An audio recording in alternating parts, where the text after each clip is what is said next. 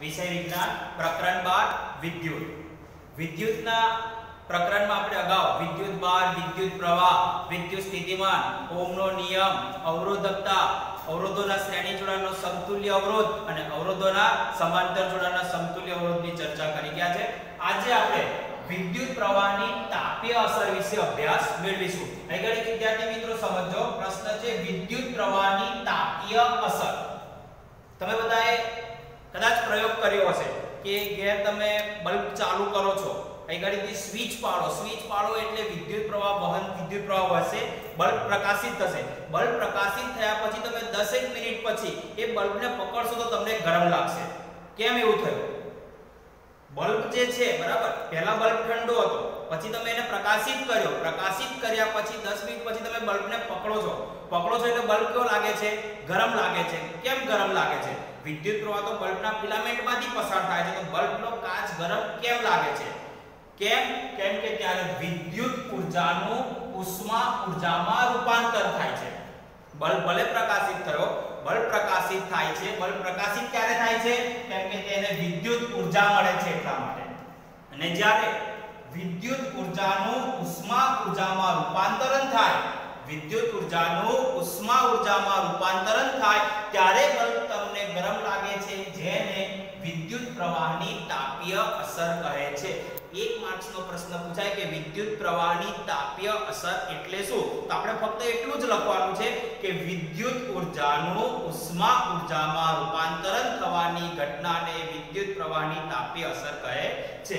તો એ ઘડી વિદ્યુત ઊર્જા શબ્દ આવે છે. બરાબર? ઊર્જા. ઊર્જા વિશે આપણે અભ્યાસ ધોરણ 6 થી મેળવીએ છીએ કે કાર્ય કરવાની ક્ષમતાને ઊર્જા કહેવાય. પણ એ ઘડી વિદ્યુત ઊર્જા એવો શબ્દ છે તો વિદ્યુત ઊર્જા કોને કહેવાશે? જો, ધારો કે કોઈ અવરોધ R માંથી વિદ્યુત પ્રવાહ વહે છે, આપણે વિદ્યુત ઉર્જાની માહિતી મેળવે છે આપણે બલ્બનું જ ઉદાહરણ લઈએ છીએ. બલ્બનું જે ફિલામેન્ટ છે, એની અંદર એક અવરોધ આવેલો હોય. બરાબર? ધારો કે કોઈ અવરોધ R માંથી વિદ્યુત પ્રવાહ વહે છે.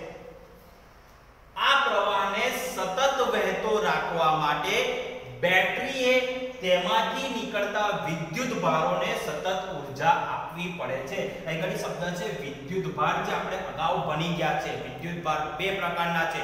ધન વિદ્યુત ભાર અને ઋણ વિદ્યુત ભાર. ધન વિદ્યુત ભાર એટલે પ્રોટોન પરનો વિદ્યુત ભાર, ઋણ વિદ્યુત ભાર એટલે ઇલેક્ટ્રોન પરનો વિદ્યુત ભાર. જ્યારે વિદ્યુત ભાર ગતિમાન હશે, તો જ વિદ્યુત પ્રવાહ વહે છે. એટલે કે ધારો કે કોઈ અવરોધ R માંથી વિદ્યુત પ્રવાહ વહે છે. આ પ્રવાહને સતત ચાલુ રાખવો હોય તમારે. આ પ્રવાહને સતત ચાલુ રાખવો હોય તો શું કરવું પડે? બેટરીએ તેમાંથી નીકળતા વિદ્યુત ભારોને સતત ઊર્જા આપવી પડે. વિદ્યુત ભારને સતત ઊર્જા આપે તો જ અવરોધ R માંથી વિદ્યુત પ્રવાહ સતત વહેશે હવે V ધારો કે V વોલ્ટની બેટરીમાંથી Q જેટલો વિદ્યુત ભાર ગતિમાં રાખવા માટે કરવું પડતું કાર્ય કાર્ય માટે સંકેત છે W. તો W બરાબર V Q. ફરી સમજો વિદ્યાર્થી મિત્રો, આપણે વિદ્યુત ઊર્જા વિશે માહિતી મેળવીએ છીએ. બરાબર?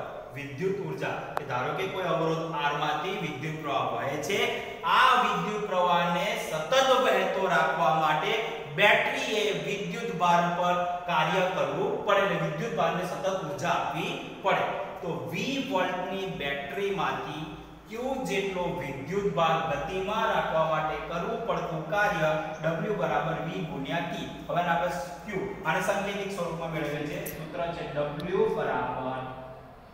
V Q ચલો V એટલે વોલ્ટેજ Q એટલે વિદ્યુત માટે W V ગુણ્યા. આપણે અગાઉની થિયરીમાં બની ગયા છે. I બરાબર Q ના છેદમાં T આ વિદ્યુત પ્રવાહ શોધવાનું સૂત્ર છે.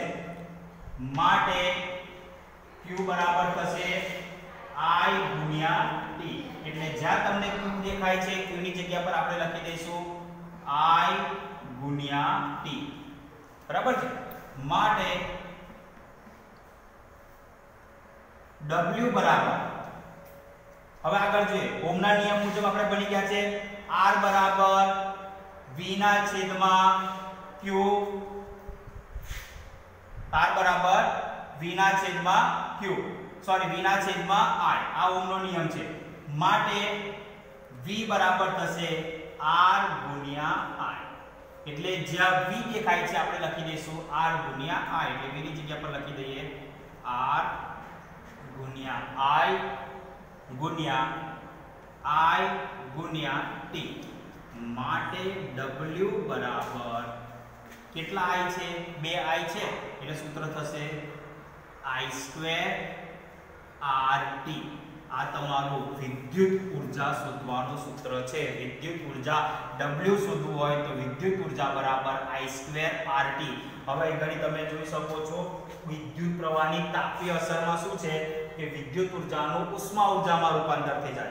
વિદ્યુત ઉર્જાનો ઉષ્મા ઉર્જામાં. હવે ઉષ્મા એટલે ગરમી. ગરમી અંગ્રેજીમાં ઇંગ્લિશમાં શું કહેવાય? હીટ હીટ એટલે પ્રથમ અક્ષર છે h. તો ઉષ્મા ઉર્જાને આપણે શાના વડે દર્શાવીશું? H વડે. અહીં લખીશું. વિદ્યુત ઉર્જાનું ઉષ્મા ઉર્જામાં રૂપાંતર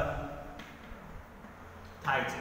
માટે ઉષ્મા ઉર્જાનું સૂત્ર પણ શું થશે? ઉષ્મા ઊર્જા H બરાબર I સ્ક્વેર RT જે વિદ્યુત ઉર્જાનું સૂત્ર છે, એ જ સૂત્ર શાનું થશે ઉષ્મા ઊર્જા. હવે વિદ્યાર્થી મિત્રો, ઘણી વખત બે માર્ક્સની અંદર પ્રશ્ન પૂછાય છે કે ઉષ્મા ઉર્જાનું સૂત્ર લખી તેનું તારણ આપો.